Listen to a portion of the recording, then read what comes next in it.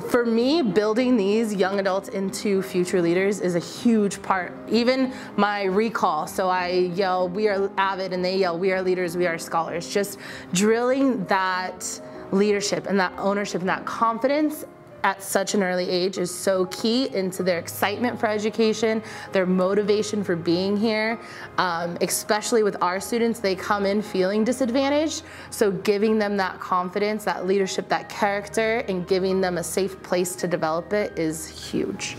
Um, in AVID, we do a lot of posters and we do a bunch of activities such as uh, we did a country poster where it just, you bring out your true self and you show like who you really are and you and your your classmates come together and once you present you just show like your true character and you just express everything out uh, we just like like to collaborate for any project we're doing. Uh, doesn't matter if we're just writing a simple paragraph or even coming together for another poster board. Uh, it just all comes to how you want to participate and what, how much information you want to put into the group to help your teammates succeed. Well, we, we start in the off season.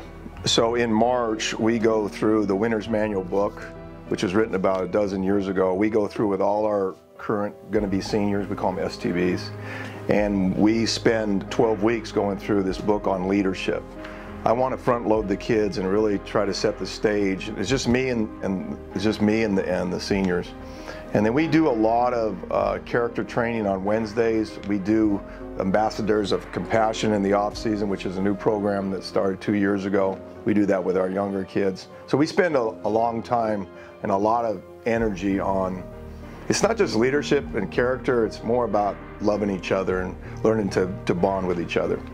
Um, it's, it's mostly bonding. Like even if we're not like sometimes we won't even like practice. Sometimes we just be coming here talk about like ourselves. Like you'll have like you did today, have all of us stand up.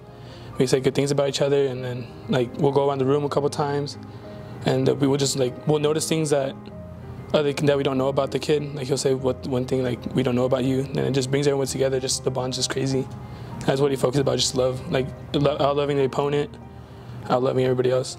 Well, we do this every week, especially on Wednesdays. Every week, we watch film during sixth period, but on Wednesdays we don't watch film. We talk about character and what it's like to be a better father, a better uh, student, or a better brother, a better son. And he calls it uh, being a champion for life. And that's what we go by. Like all the seniors, we get a, a winner's manual. He calls it the winner's manual. And it's just like a book to go by, a book that, that we call it our Bible because it teaches us how to grow as a team and how to work together. I've never felt that football, as long as I've been doing this for 40 years, has ever been, to be successful, it's not about the X's and O's. It's about the love that the kids have for each other. Uh, we teach a lot of things out of a lot of different books. And for football, we try to teach them that it's not the opponent that's the enemy. You're playing for the love of the guys behind you or the love of the guys that are in front of you. So we spend a lot of time talking about out loving our opponent and how, what does that look like though? What does it look like to have character when nobody's looking? What does it look like to have a loving attitude among your peers and your teammates and your coaching staff? That's why we spend a long time doing this. He's preparing us to be champions for life.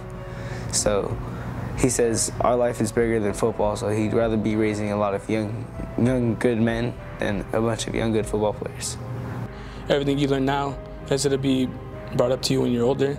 Instead of having an effect on your kids, your people around you, it's to affect everyone, and everyone's going to be surrounded around your um, your era, your just the way you feel and characters that bring everybody up.